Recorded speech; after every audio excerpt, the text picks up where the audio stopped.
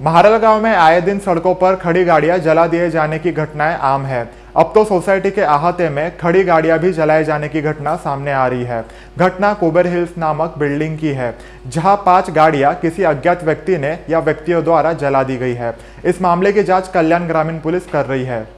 Morning में हम लोग को अ, जब घर में धुआँ भरने लगा तो हम नीचे आए।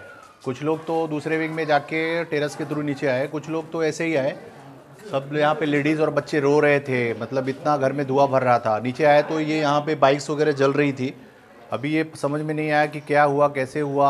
आप देख सकते हैं चारों तरफ़ यहाँ पे धुआँ से पूरा फॉग आप स्मोक देख सकते हैं, पूरा स्मोक स्मोक ही है।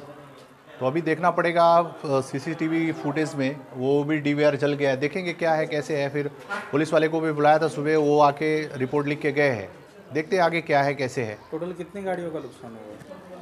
चार गाड़ियाँ जली है एक एल्टो है उसमें अ, सामने का बॉडी जला है एक पैशन है पैशन का आगे का बॉडी मेल्ट हुआ है।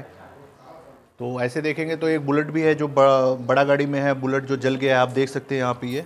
और पीछे दो स्कूटीज़ है एक आगे गाड़ी बाहर खड़ी है और जली हुई है। तो नुकसान तो काफ़ी हुआ है। ये कुबेर हिल बिल्डिंग है मारल गाँव और मेरा नाम तिवारी। कोणार्क। अपना शहर अपनी बातें।